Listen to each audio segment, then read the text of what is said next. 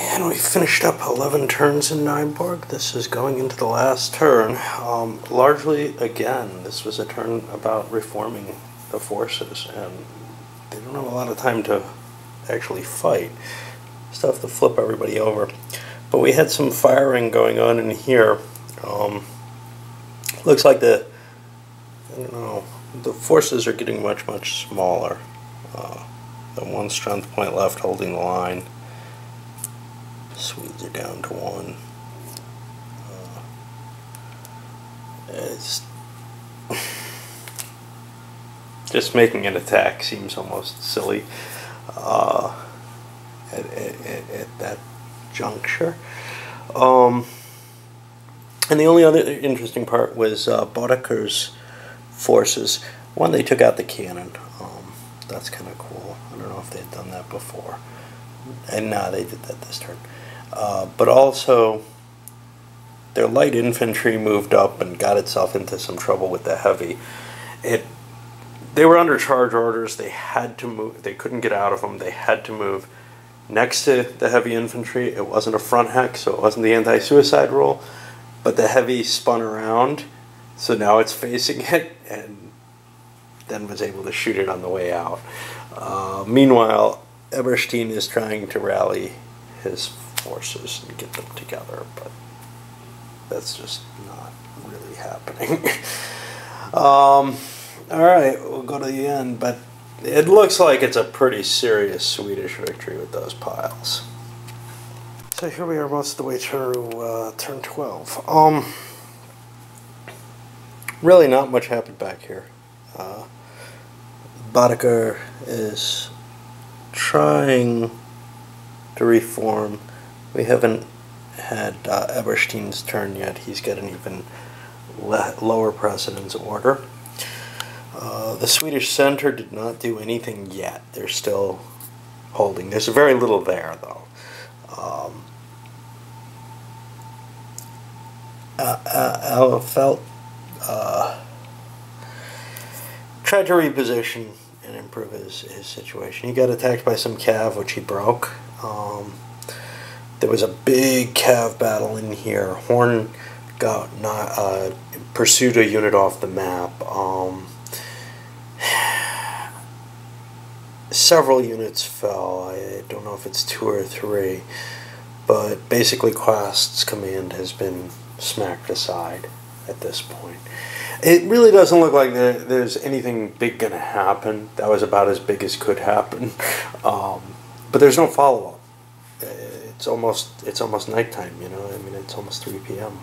Uh,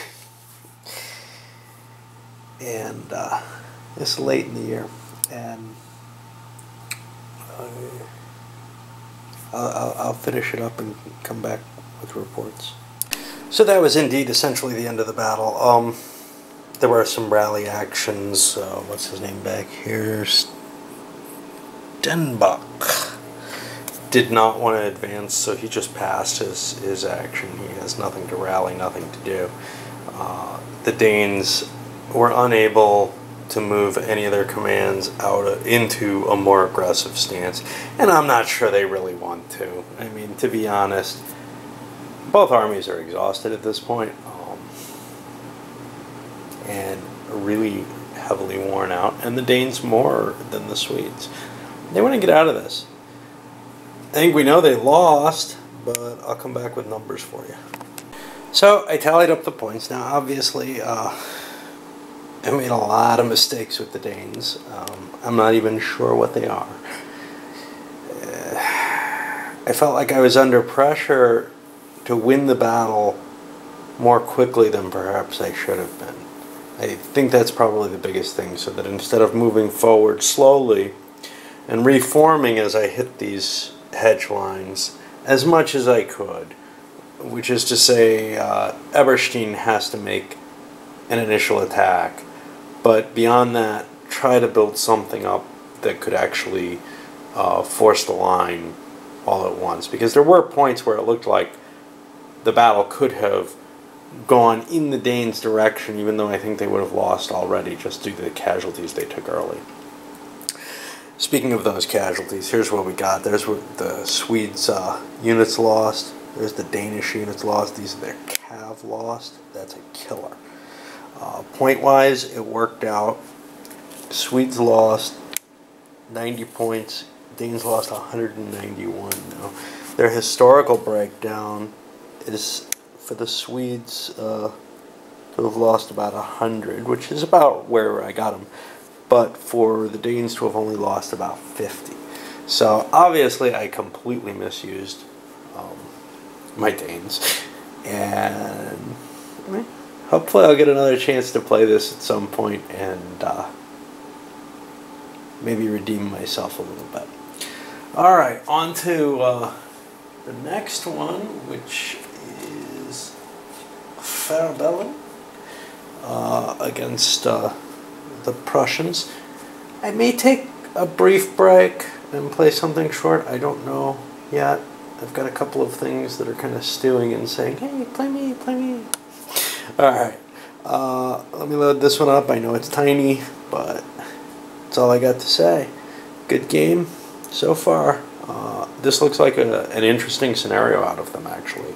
Uh, from the feedback I've gotten from other people, it sounds like, yeah, I'm screwing up Riley. and this really isn't, uh, you know, some kind of reverse balance situation. Uh, the Danes should be able to handle I mean, they have humongous odds. There's no question. I just attacked so raggedly. But attacking's always harder, especially for me. And I was getting used to the system again and not really, you know, oh, I'll go do this. Oops. not a good way uh, to be if you expect the attacker to be able to do well.